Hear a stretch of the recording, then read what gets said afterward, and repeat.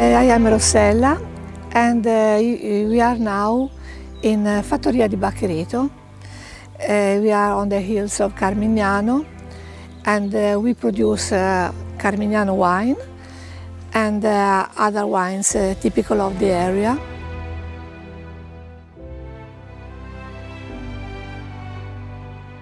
This is my, the farm of my family.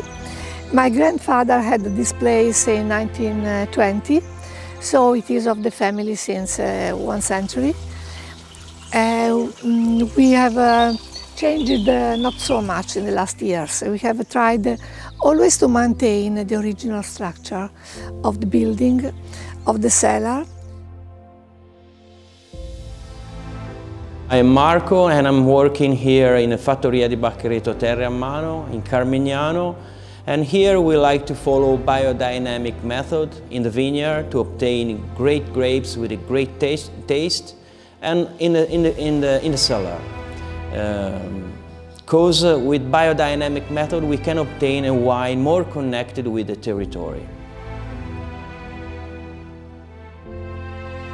Carmignano uh, is a, a, very old denomination.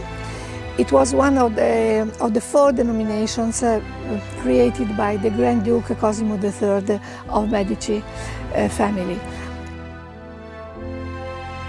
Uh, when the Grand Duke Cosimo III uh, was alive and he wrote the law and this area was mm, a big hunting reserve of Medici family was called Barco Reale. And the old man called it Uva Francesca.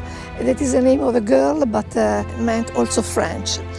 And uh, now we have uh, employed uh, till today the Cabernet uh, because it marries very well with the Sangiovese and uh, it balances the, the color and the structure of the, of the Sangiovese and it is a very good wedding.